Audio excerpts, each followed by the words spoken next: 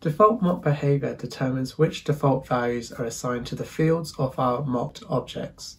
So in this video, we're going to look at how we can modify the default mock behavior. So when we create a mocked object, the fields that it has can either be null by default, or they can represent mocked objects. If you like this video, please give it a thumbs up. And if you want to see more weekly videos on Java, please subscribe to the channel.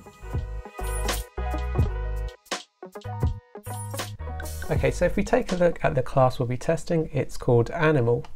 And the animal has an object called zookeeper, and it also has a primitive integer of an age. So the zookeeper will be instantiated through the constructor, and then we also have a getter for that zookeeper. And then if we look at the zookeeper class, it just has a single name, which is a string, which is instantiated through the constructor and also has a getter. So it's going to be this animal class that we create a mock of, and this is how we're going to change the default behavior of how that mock is created. So let's go into the animal test class. So our test class uses the Mockito JUnit runner class and that will instantiate our mock for us. So I'm going to begin by creating a instance of the animal. I'm going to call it lion and it's just going to be a very simple mock. So when we create a mock class, if I go back into the animal class, all of these values are now going to be nullified. So if we have any kind of object, it's now kind of going to be represented as null. And then if we have a primitive value, they will all be defaulted into the value of zero, or if we have sort of a double, it would be 0d. And then for the getter down below, that will also now return null. And this is essentially what that mock class will be doing to our class. So now if I do a print line for the lion.getZookeeper, and the lion's age, we can expect it to print null and then the value of zero down below. So what we're seeing in the console is where objects are now being defaulted into null and then the primitive values generally become zero or if it were a boolean that would now become false. So Mockito actually allows us to change the default behavior by using a second argument for the inline of our mock creation. So where we create this animal class mock, we can actually pass in a second argument which will now change the default behavior of our mock. And the first one we're going to look at is called returns default. and returns defaults will not change the behavior of our mock whatsoever. This is actually the default application for our mock every time we create a mock. And if you prefer to use annotation based mocks, there is a key value pair which allows you to assign a value for this second argument here, and that's called answer. So that would look like this.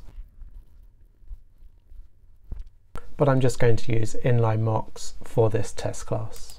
So now if I print out the get zookeeper and the line age down below, we can expect it to print out exactly the same as we have for the first line that we created.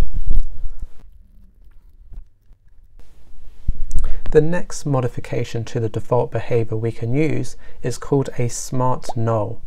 And it performs in a similar way to our normal mock. However, rather than returning null down below, it's going to return something called a smart null. And essentially the smart null will tell us within the console whenever we're trying to call a method on an object that is null where we should be stubbing that method instead. So it's really useful as kind of a pointer to us to say, hey, look, you're trying to call a method on an object that is null, which has been caused by the mock. So you may want to instead stub this method so you're not just going to return null from that method call. So let's have a look at how this might work.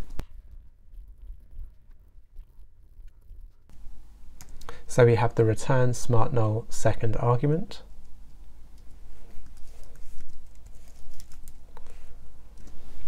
So if I just print out get zookeeper on line 3, we can see below that instead of printing null to the console, we have smart null returned by this unstub method call on a mock animal get zookeeper because we're calling the get zookeeper on our animal class and we haven't actually stubbed it to return any other instance of get zookeeper.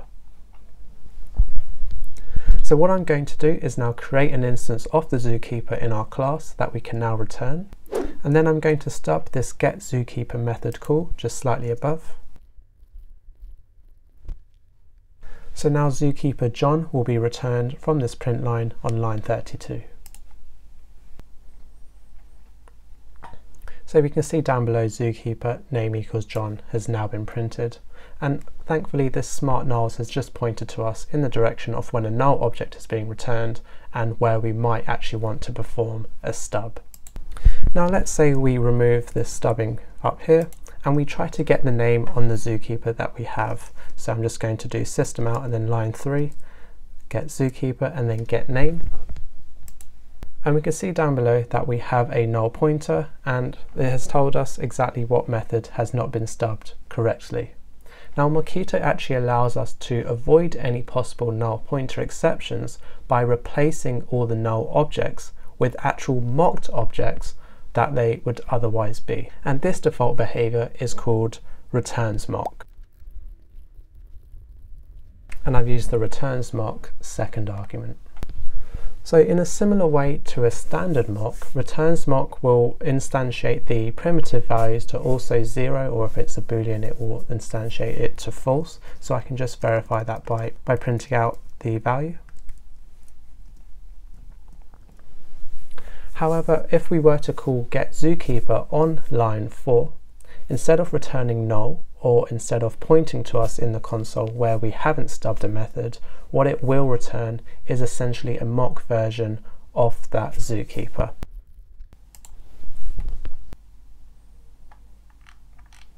And we can see down below here, it says mock for zookeeper hashcode and then the number for that hash code. And as a result, if we now try to call get name on that zookeeper, nothing is actually going to be printed to the console because it is a mocked instance. So rather than having a null pointer as we experienced with the smart nulls when we tried to call getName on the zookeeper, instead it's just going to print nothing. So if I do system out and then add the string of name, we will now see that nothing is actually printed where we're calling getName.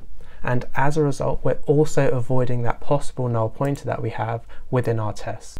So we can see down below for the last line that name is simply empty and we don't have that null pointer. So effectively by using returns mock what we have down below is a stub for our animal class. So it would look something like this when we call the get zookeeper on line 4 we would now return a mock instance of the zookeeper class and therefore when we call get name on that zookeeper class, just nothing is going to be returned to the console and it's just going to be blank without any possible null pointer exception. But let's say we wanted to stub this exact method call. So we don't really care about the zookeeper, but whenever we call the get name on the zookeeper off line 4, we want it to return some type of string. And we can achieve this by using deep stubs, which is the final default condition that we're going to look at in this video. And I'm using the argument of returns deep stubs. So by using deep stubs, what happens is when we create this animal instance, this zookeeper is now going to be a mocked instance of the zookeeper and the zookeeper that we have within that it's going to have a mocked instance of this get name and therefore it allows us to stub deeply within our instance of the animal to then return certain values for multiple chained method calls. So I can do when and then line 5 get zookeeper and then get name then return and let's say we just want to return Alan. So if I do a system out on line 5 we can now expect it to print Alan down below because this deep stub has allowed us to stub multiple method calls on our instance of animal. And let's say getName returned a different kind of object, we could then stub further into that to allow a very specific stubbing of our instance of the mock. So we can see down below that Alan has now been printed. So we've reviewed three different ways that we can transform our mock class But you may find that when you're testing your application code, you probably won't actually need to change the default behavior of your mock, but they can be quite useful for when you, uh, let's say if you're debugging a certain mock that you've created and you want to understand uh, why certain values are coming back as null. But I think understanding that you can actually change the default behavior of your mock instances can be quite interesting to understand.